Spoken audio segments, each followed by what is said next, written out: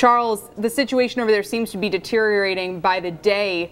Does President Assad seem to think that this resolution, this failed UN attempt to get him out of the way, opens the door for him to be even more aggressive?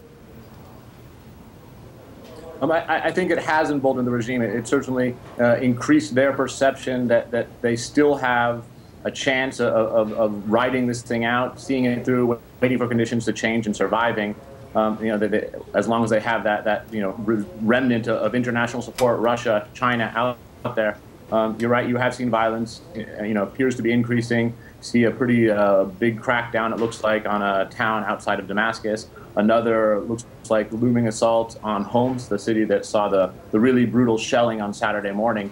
Um, and, and, you've seen the, the rebel forces start to, uh, you know, call for, looks like they're ready to, to mobilize or, or, try to step up their sort of organization. They, they called for sort of a higher military council to be formed today uh, to try to sort of lend some shape and, and hierarchy to a, to a rebel army that is you know, very, very loosely knit and, and, and uncoordinated at this point. Uh, Charles, is there any way that the Russia-Chinese decision uh, to veto this resolution can be defended?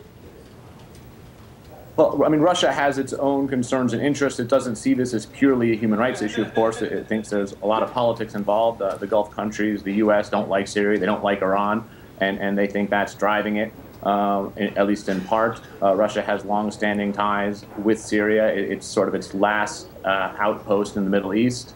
Um, it, it, also felt like it was sort of betrayed uh, during the Libyan uprising when it when it backed a Security Council resolution to protect civilians, and, it, and, it, and from its view, it was sort of used as a, a pretense to you know come out full fledged in support militarily of the rebels.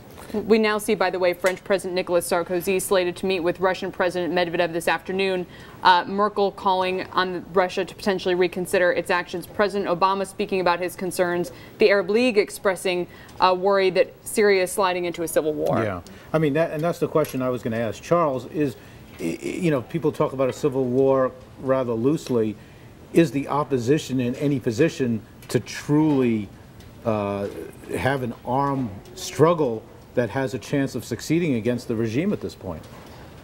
I think you're very unlikely to see the opposition defeat the regime, you know, straight up militarily, but it certainly can continue to wear it down, to, to wear down its political support, to make its hold, its ability, its, its grasp more and more untenable, to, to, to encourage more defections, to encourage more political defections.